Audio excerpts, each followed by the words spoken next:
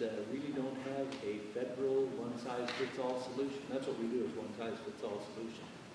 Um, Most of the things that have to do with equality, and Wyoming is the equality state, uh, we allowed women to vote almost 50 years before the rest of women in the United States got to vote. There are different explanations for how that happened.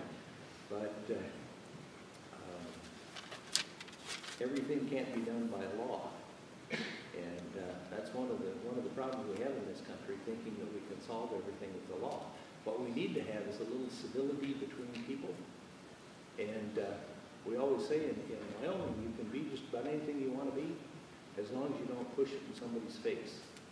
You can, you can, I I know a guy that wears a, a tutu and goes to bars on Friday night, and always surprised that he gets some fights. So he kind of asks for it a little bit, but that's, that's the way that he winds up with that, that kind of a problem. And uh, I'd be interested in any solutions that you have for how we can make that all work better. Again, everything can't be done by law, but there are other things that can be done too.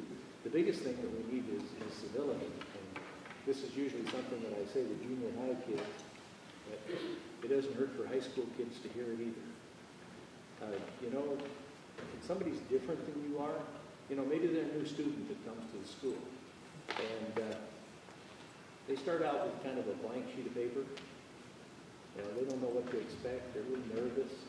And uh, so somebody says, wow, the clothes you wear are really dorky. That's what this does to them. And then they find out that all their lunch tables are set with different cliques, and they can't get into that, so they kind of have to sit by themselves. And that does this to them too. And, uh, you know, maybe nobody will talk to them. And it just keeps working on them. We do that to people all the time. We kind of bully them in very subtle ways. Okay, or you think about it and you say, well, no, no, I'm gonna, I'm gonna sit with that person at the lunch table. Well, that takes care of some of the problem. And uh, I'm not gonna comment on their clothes anymore, because, you know, maybe they're more fashionable than I am. So that straightens things out a little in one thing another, and we apologize, and that straightens things out anymore, a little bit more, and before you know it, it's all perfect again, isn't it? No, it's not. The wrinkles are still there. There's no way to undo what you do badly to somebody else. And I'll guarantee you from my own experience, if you embarrass somebody, they will remember it for life. Try not to do that. Now, it's almost impossible not to do that, but try and apologize or whatever as soon as possible and it'll help straighten out some of the, some of the wrinkles. It's all about how we treat each other.